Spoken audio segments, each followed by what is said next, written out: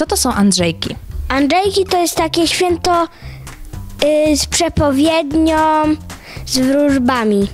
Andrzejki mi się kojarzą w, w dniu, w którym ludzie y, robią jakieś wróżby. Andrzejki to jest taki dzień, w którym obchodzimy Dzień Świętego Andrzeja. Co robisz w Andrzejki w domu?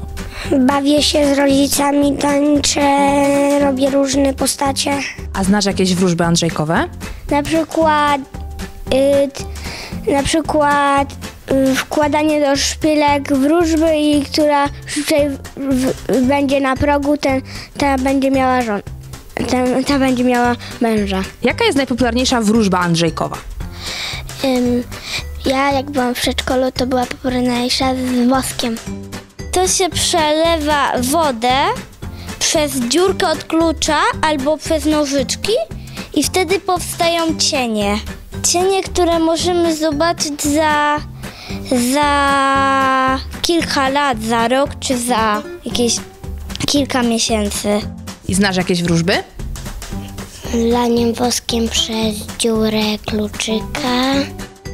Są fusy, są jabłka. Znasz jakiegoś Andrzeja? Tak, mój dziadek. Znasz jakiegoś Andrzeja? Znasz jakiegoś Andrzeja? Nie, A sławnego Andrzeja? też nie. A jak ma na imię prezydent Polski? Jeszcze o nim nie słyszałam.